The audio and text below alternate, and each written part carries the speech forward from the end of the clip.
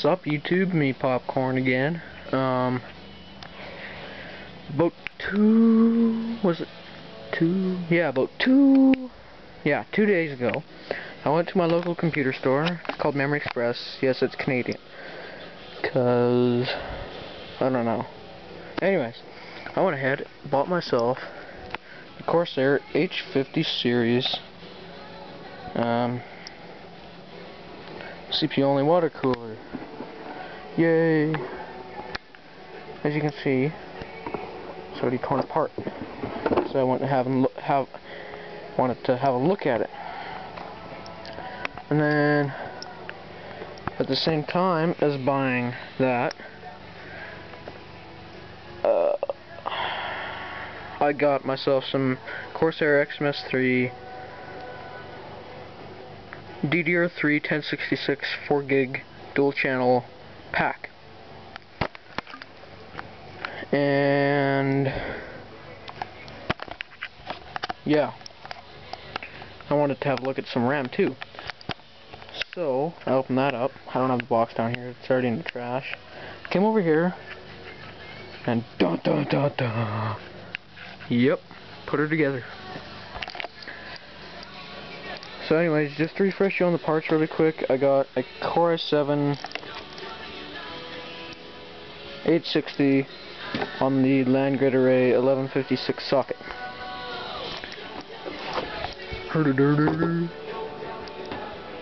Put the shade back on. There. Anyway, I got the Core i7 860 1156 uh, socket it's a 2.8, 2, yeah, 2.8 gigahertz. It's got 8 megs of cache, and what else? I know this camera is, it's not the best camera. Oh yeah, dirt. Eight threads for the win, because Intel tones. Nothing wrong with AMD, but I'm no Intel fanboy. I've just done my research, and Intel's a far better CPU, even for the price. So anyways, I got the Core i7 860, 2.8 gigahertz. I got 4 gigs of Corsair XMS3, DDR3, 1066 RAM. Uh, I got the Corsair H50 series CPU water cooler.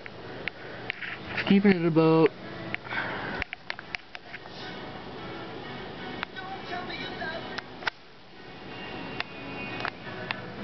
Oh, come on.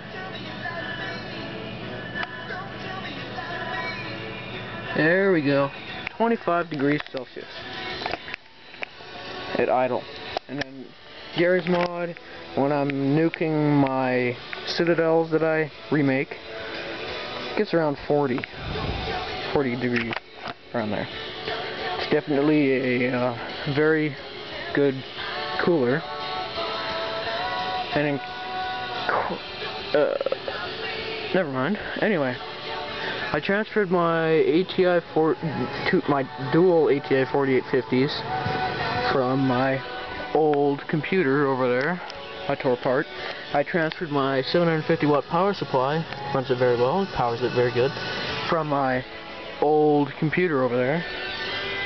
And I transferred my two hard drives, my dual 500 gigs from my old computer over there. I'm running the 4850s in Crossfire X, or just Crossfire, and I'm using the uh, 8-pin, oh shit, I'm using the 8-pin uh, CPU power connector. It's up on the left side of the board there somewhere.